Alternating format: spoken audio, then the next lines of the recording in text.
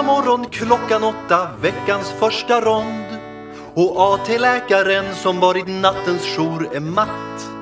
Hon rapporterar och hon säger jag är lite trött. För jag har bara sovit fyra timmar i natt.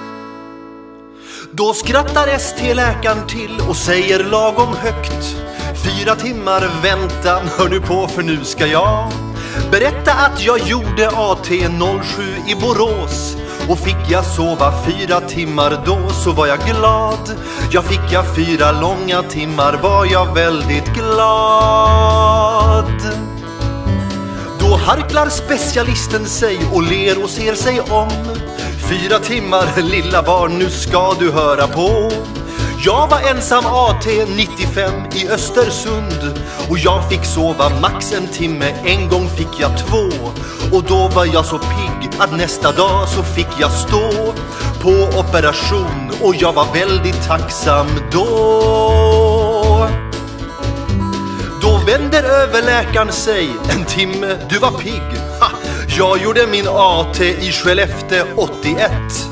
Jag gick jour varenda natt i drygt en veckas tid och fick jag sova blott en kvart, då var livet lätt. Men oftast fick jag vara vaken tre nätter i sträck och inte fanns det skiktröntgen och ingen internet. Vi hade inte ens en säng och ingen toalett. Nu skrockade professorn plötsligt till i sin fåtölj och låtsades att ingen märkte att han slumra till. Jag gick AT 62 i Sarek, må ni tro, och jag fick nattjour varje natt från nyår till april. Och sparken ifall ögonlocket täckte min pupill. Den enda mat vi fick var glaciär och inlagd sill. Och blev man ej docent så blev man kallad imbecill. Men jag var glad och kände detta är ju vad jag vill. Då hördes det en basstämma från sopsorteringen och före detta sjukhuschefen satt sig upp i trans.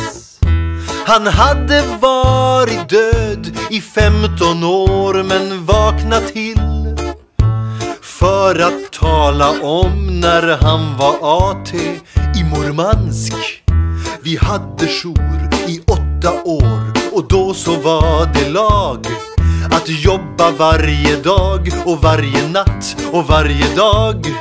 Förresten sa jag också att vi jobbar varje dag. Och man sköts ifall man inte skrev ett pek varje kväll. Och kulan som man sköts med fick man plocka ut helt själv. Fick tuberkulos och struma och sen håravfall Men jag var glad och kände detta är mitt kall Då ropar någon hjärtstillestånd i sängen på rum fem och alla tittade bort och blev upptagna med sin rond. Professorn somnade och gamle chefen dog igen så AT-läkaren sprang ensam till sitt första stillestånd. Men alla var helt överens att det var bäst för att hon hade ju fått sova fyra timmar denna natt.